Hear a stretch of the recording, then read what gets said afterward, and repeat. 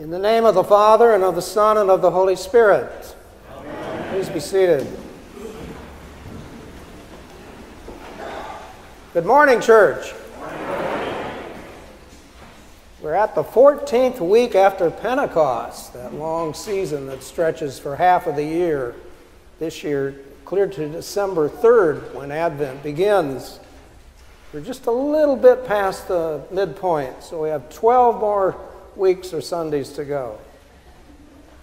And as I've said before, I continue to think of this long season as the season of discipleship. And I say that because we learn over this half year these Old Testament stories. We learn from the acts of the early Christians, and we learn from the ministry of Jesus what it means to respond to God's call. So, over the three year lectionary cycle, half of that time is spent in this long season that our Roman Catholic brothers and sisters call ordinary time. It's ordinary life, in fact. In the Old Testament reading this morning from the book of Exodus, Exodus, we have this well known story of one person's response to God's call, the response of Moses. And as you just heard uh, at the first reading, it's the burning bush story. How many of you familiar with that? Sure. In a nutshell, the story goes this way Moses is shepherding, he's tending the flock of his father in law near a mountain, and he sees a bush that's burning, but which is not consumed by the fire. Out of curiosity, he goes to see it, and there God speaks to him out of that burning bush and commands him to go back to Egypt and rescue his people. Moses resists a little bit, and as a result, we hear a conversation between God and Moses going back and forth, which includes God sharing God's name. And so begins this story of Moses' call to lead the people of Israel out of Egypt. I see at least three themes, or perhaps faith questions, that we could answer helping us to be better disciples. First, how does God reveal himself? How does God make himself known? We know there are other accounts in the Old Testament of God making himself known, usually through some dramatic appearance at a holy place. Think, for example, some of you will remember this, of Mount Sinai, when later in the story of Moses, Moses brings the people to the holy mountain. And God appears. How does He appear? He appears in smoke and fire, and the mountain quakes. It's high drama at the mountain of God. Our burning bush story is also high drama. Moses stands in the presence of God. It is frightening. Just Moses and God. And God speaks out of the bush, and Moses, obeying God's command, removes his shoes because he is told he is on holy ground. And as God speaks, Moses hides his face in fear fear of death from seeing the face of God.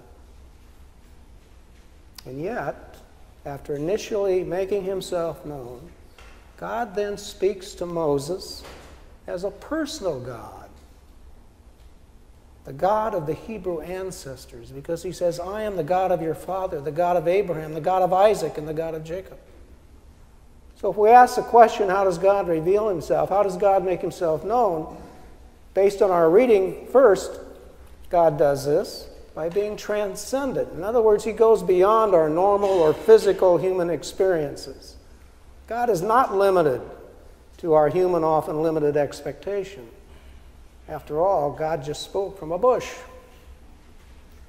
And secondly, in the revelation, of God, God finds a way to identify with us personally, a particular person or people. God is personal. He says, Moses, Moses. And he says, And I am the God, the God of your ancestors. He relates Moses to that. So, the second question I would ask in this reading who is God? And how should we address God? Moses asked God, if I come to the people of Israel, as you are asking, and say to them, The God of your fathers has sent me to you. And then they ask me, What is his name? What shall I say to them? God responds, I am who I am, which is a little hard to understand. But then God adds, Say to the people of Israel, I am has sent me to you. And then finally, God gets personal. Say this to the people of Israel The Lord, the God of your fathers, the God of Abraham, the God of Isaac, the God of Jacob, has sent me to you. This is my name forever, and thus I am to be remembered throughout all generations. Ah, now we understand Moses. Historically, we have divided Moses' life into three 40 year periods. That's because the Bible tells us that he died when he was 120 years old. 40 years in Egypt, 40 years in the wilderness, and then 40 years leading the Israelites out of bondage in Egypt toward the promised land. So, in our story this morning, the burning bush story, Moses is 80 years old when God declares to him who he is. A third question we might ask and answer is after the appearance of God and after the revelation of God's name, is God's call to Moses and how Moses will respond. Will Moses accept God's call to him to lead the people out of Egypt? It's clear why God is making the call. We're told in the reading that God has heard the cries of the people in Egypt and to bring them out to a land of their own, a land flowing with that wonderful phrase, milk and honey. God, moreover, God wants Moses to be the instrument of that action, to bring them out of Egypt. Moses resists. He says, Who am I that I should go to Pharaoh and bring the Israelites out of Egypt? Good question. After all, Moses fled Egypt because he had killed an Egyptian and was wanted for murder. And he's been gone 40 years. But I think there's a deeper issue. That is whether Moses believes he is really worthy of the call. The Old Testament has a number of examples of just this problem or question. It is common, you may remember this, it is common at ordinations to have a reading from the prophet Jeremiah. And let me read to you a portion of that. Now the word of the Lord came to me, saying, Before I formed you in the womb, I knew you. And before you were born, I consecrated you. I appointed you a prophet to the nations. Then I said, Ah, Lord God, truly I do not know how to speak, for I am only a boy. Obviously, we all feel unworthy to some extent when we're called by God, because we're called by God. So, having reviewed the Old Testament lesson this morning briefly and entertaining these three questions, what are we to make of this, and how can the burning bush story help us in our faith journey? Well, two thoughts. First, perhaps we need to reflect on holy ground. God said to Moses, Take your sandals off, for the place on which you are standing is holy ground. A number of religious traditions require the removal of footwear before entering worship space, holy ground. For example, Islam, it's an act of reverence and respect. And when Moses removed his sandals, he's, he's not then standing on a rug or on a tile. He's standing on soil, he's standing on the earth. As one commentator has said about this, quote, this first revelation of sacred space identifies as holy the soil itself God's good land alive with vegetation. If you have environmental concerns, as I have, then Moses standing on holy ground may present a deeper meaning for you, something to reflect on. The soil is holy because it nourishes the life from which God speaks. A second thought, at the very beginning of the reading from Exodus, we're told that Moses led his flock to the west side of the wilderness and came to Horeb, the mountain of God. In the King James Version of the Bible, that wonderful translation from the 17th century, and which our Revised Standard Version flows from, the phrase west side of the wilderness is translated differently. It's translated in the King James Version as the backside of the desert. The backside of the desert. And if you look up the word backside in the dictionary, it says a person's bottom. the backside of the desert. It suggests that Moses led the flock into an area where there was little or no vegetation. We're not told why he uh, went there. All we know is he's gotten his flock there and there's not much to graze on.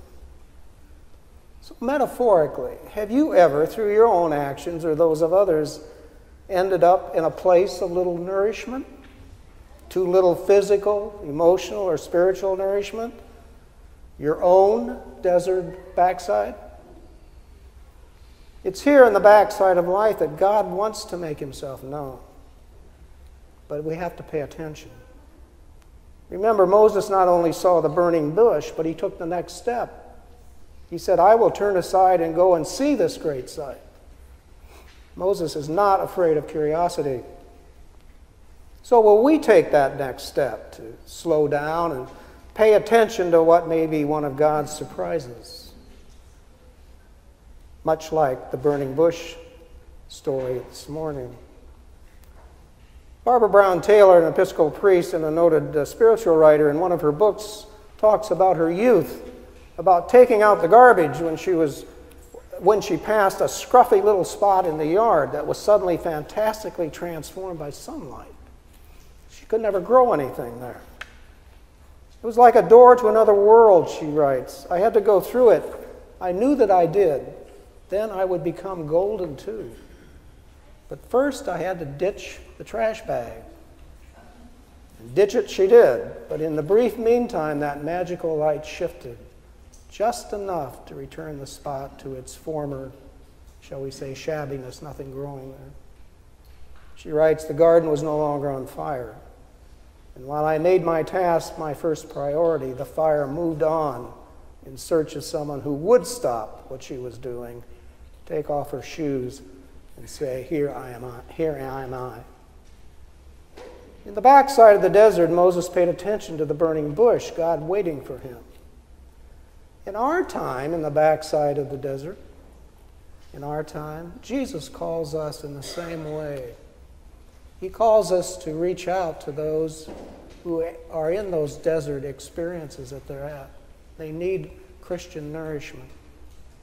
So we remember Moses this morning and the burning bush story, and we remember Jesus' call to us as well. Amen.